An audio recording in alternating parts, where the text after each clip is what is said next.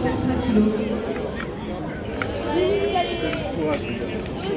Les médailles sont remises par M. Sylvie, président de la Fédération française de karaté. Est accompagné de Mme Marie-Paul Bouzra, déléguée du. Troisième, Popescu David Florin. Bravo David. Bravo David Israël de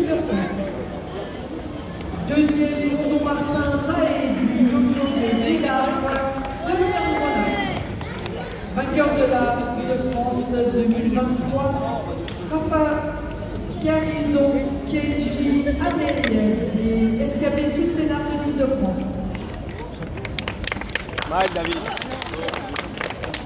Montre, montre la médaille David. Voilà